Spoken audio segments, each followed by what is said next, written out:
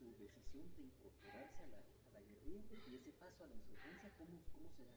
Después de, eh, de, una parte de convivir en las comunidades de población de resistencia, eh, yo tomé una actitud también resistente en el que cuando la gente se va a México, yo me resisto a ir a México y me, me inspira mucho el seguir estando en, en, las comunidades de población de resistencia y con esa intención yo regresé una temporada, pero esa temporada fue larga, casi 10 años.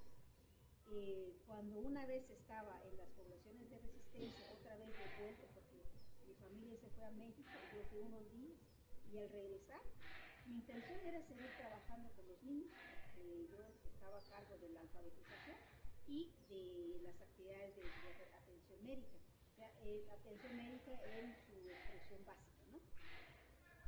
Y mm, con eso, poco a poco, claro que también hubo gente de la guerrilla que estaba muy cercana, sobre todo los cuadros organizadores que tenían la vinculación con las comunidades de población de resistencia, que llegaban de vez en cuando. Y eh, yo me quedé en una unidad que era como logística, era un poco para pasar experiencia, cómo están, cómo se vive, qué se hace, ¿no? Entonces me preguntaron, ¿se queda 20 días o se queda un mes o dos meses? ¿O cuál es su intención? En ese entonces el reclutamiento habían como tres momentos.